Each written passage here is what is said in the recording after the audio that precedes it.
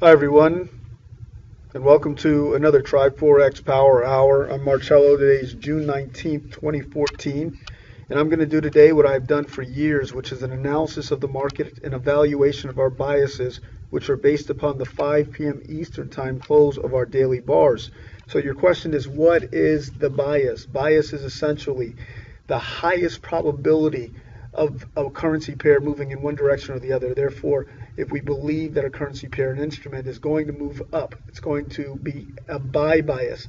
And vice versa for a sell bias, if we believe that price is going to move within a range, we call that a consolidation bias. And that's how that's really our formula for success. We determine what the bias is, then we either take a set and forget it trade or we use um, our day trading methodology. Very, very straightforward, utilizing our pods. So if you don't know what a pod is, go to tribeforex.com. We have training there for that. so let's go ahead and take a look at let's take a look at the market. So we have here. Okay, so I'm going to start with the euro dollar. And I'm going to do just basic uh, chart analysis here. Now, yesterday, guys, what's interesting is that we did get some news. Fundamentally, uh, we got some dollar weak news. So we're expecting the dollar to be weaker. That would mean that the that currency pairs against it would strengthen in those particular currency pairs. What I'm looking for specifically from my technicals, though, is that I'm looking here and I see trend lines here that are being obeyed. I'm seeing areas of resistance that are being obeyed on here on this euro dollar specifically, and this trend line is actually being held. So we do have some form of a reversal candle here. I'm going to follow the, the technicals for the time being. So what am I looking for? Basically, we have the 200 EMA, which is at 136.25. we can see that price came up to 136.38, which is where our trend line is, a trend line that has been um, in existence for some time. And then so we've got between 136.25 and 136.35, very, very strong area of resistance. And so we're going to be looking for some form of return at that point. Now, guys, if we see price break the high of this reversal candle here, I can tell you right now that we're going to be looking for more movement to the upside and we're going to see a a, a, lack of recognition of the market of these of these trend lines because we're going to see move up and that means that the market has accepted that the US dollar is going to be weaker and so we're going to see euro dollar pound dollar dollar um, all these different currency pairs move up. We're going to see the dollar Swiss move down dollar yen etc unless of course there's an intervention by uh, the the uh, uh, in Japan there so what we're looking for is on the euro dollar right now I'm looking for a sell off of 136.30 between 136.25 and 136.35 where I have substantial support, uh, resistance here. All right, dollar Swiss.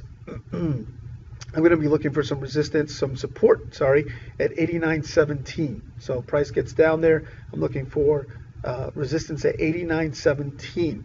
Okay. The way that the market really reacted here is that we had a bounce off of this 50 EMA. and this 50 EMA essentially is, is acting as support for us and it bounced off at 89.16 price going down to 89.09 we're going to expect similar action to occur here on the uh, dollar Swiss. So 80 89.17 is where we're going to be looking to see a bounce on the dollar Swiss now the pound dollar is a different story altogether pound dollar has just continued to get stronger we're going to look for price to continue to move up because we do not have any areas of resistance that we're going to hold that thing back. Not at this point, not where we are. Um, there's actually a point that we can look to, and it's about 171.40. That's where the uh, upper Bollinger Band is for the weekly. And so we've got to look for that. That's going to be our next point to look for. We have a buy bias on the pound dollar and that's all it's showing us for now. We don't have any areas of resistance that would hold it back. Now, one thing that you can look for, you can look for price to come down to 170.16 perhaps and bounce off of that Bollinger um, there and then move up. So we have a buy bias on the pound dollar. The dollar yen, according to it's, the market has actually adhered to this and really uh, respected, recognize this trend line here that is sitting at 101.83 um, and so you can see that price is already testing below it but uh, we're going to be looking for a buy we're going to be looking for a buy on the dollar yen price to get back into this consolidation because it has not broken through the consolidation. So we've got to continue to look for consolidation on this dollar yen. So we're going to look for wherever price is right now. We're going to look for price to move up potentially to 102.20. Aussie dollar. so yesterday, as I said, we had consolidation. We saw price move up. It touched this upper trend line and it did end up coming down that's beautiful actually that that shows us that we're still in consolidation here on the Aussie dollar and it shows us that if you had taken the trade right there on that trend line at 94.27 when price went up to 94.30 where I told you to uh, potentially you would have had a, a, good run down so here's what we're looking for the same very same movement more or less 94.25 is going to be where we're going to look for a sell and we're going to look for uh, more of this movement and see an unfoldment in the Aussie dollar. Now we could see price break out of this range, but for right now we're going to be looking for consolidation action, which means 94.25 is going to give us a sell. Uh, Euro yen, I said to sell off of the trend line at 138. So yesterday it was 138.82. That would have bode well for you. You would have done well. Um, and so now we're going to be looking for price to go uh, to, to bounce off of 138.90. Um, if it continues to push up against this, this it's going to move back into this channel. We're going to have a new area of support and resistance. Actually, we do have a new area of support and resistance if we want to consider it. and of course, we want to consider it because that's what we do. Um, so let's take a look here.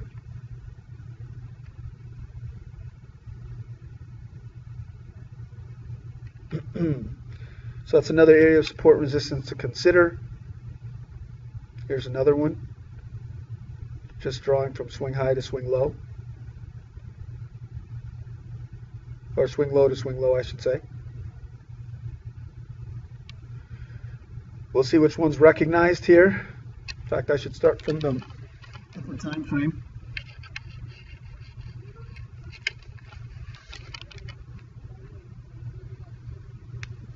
Okay.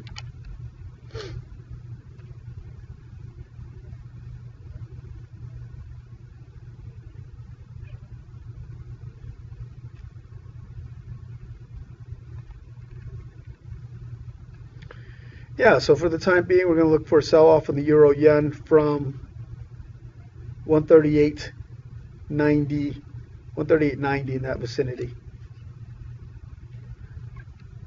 Pound yen.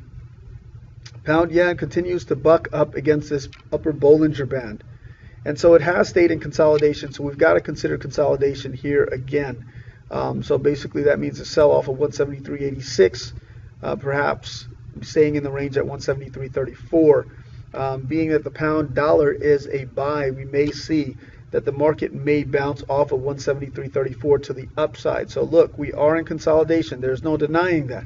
Um, but the best bet is to uh, look for potential buys at 173.34, which is this trend line, which is the nearest area of support for the pound yen. Okay. New Zealand dollar, the New Zealand dollar is clearly here uh, in consolidation. Also, it's got an inside bar right now where it stands, and we're going to look for more consolidation here on the New Zealand dollar. Not really clear where this New Zealand dollar is going to go or how far that consolidation is going to go. Um, from where it is can certainly move up or it could come down to this trend line. So I don't have a clear call for that. Look for areas of, of support and resistance on the New Zealand dollar to play that consolidation. Now the dollar CAD was interesting because we expected it to uh, to really stay within this trend line that it that had developed, and now it is broken below this trend line. and so now we've got to have a sell bias. We've got to look for um, this area which had become which was resistance was support sorry to become resistance for us and look at, at 1.0828 to be an area of resistance now so price may bounce down off of that um, and continue downward from what we can tell. Uh, this is not a clear market. There are some days that are extremely clear, and when I tell it to you, when I just say take this trade, that's what you should. I mean, I can't tell you what to do, but that would make sense. Um, so that's what I, I, expect to say about today is that they're not super clear. We're actually watching and waiting for an unfoldment, if you will, of the market. Okay, we're looking for for the, the market to continue to unfold and um, so yeah, so on the, the euro dollar looks, you know, has very good technicals for me, 136.25 to 136.35 see if the market uh, sells off from there. That's a good opportunity there.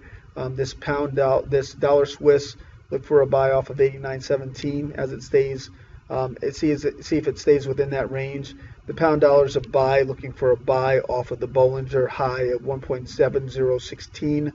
The dollar yen uh, should be a buy right off of uh, off this trend line, right where it is, 101.89, um, 101.80 up from there.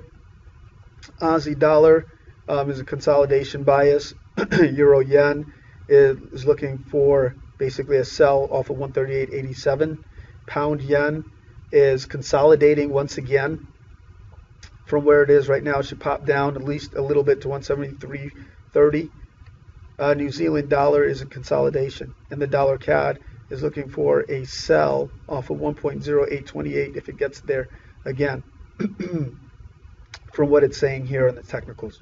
So, with that, guys, that is our Thursday. I look forward to seeing you guys again in our next session, which will be next Monday, for another edition of the Tribe Forex Power Hour. I'll talk to you soon.